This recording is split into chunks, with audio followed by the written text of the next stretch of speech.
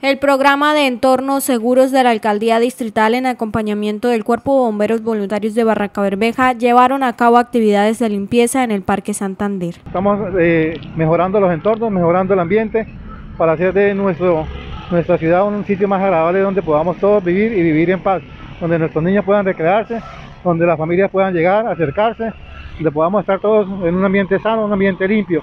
Hoy con Beoria acompañándonos hoy con bomberos voluntarios acompañándonos también en la intervención física, hoy con el grupo de promotores, hoy con el grupo de promotores de la, de la comuna número uno, estamos interviniendo el Parque Santander. La mujer que había denunciado el mal estado en el que se encontraba este sector agradeció las gestiones que permitieron esta actividad. Muchas gracias al programa que hay de entorno seguro, ¿sí? y muchas veces a, a a nuestro canal de televisión también que, escucharon nuestro, nuestras peticiones de hacernos limpiezas acá en el Parque Santander. Se tiene previsto que a las 4 de la tarde de hoy sábado se lleve a cabo una actividad de recreación para los menores de este sector.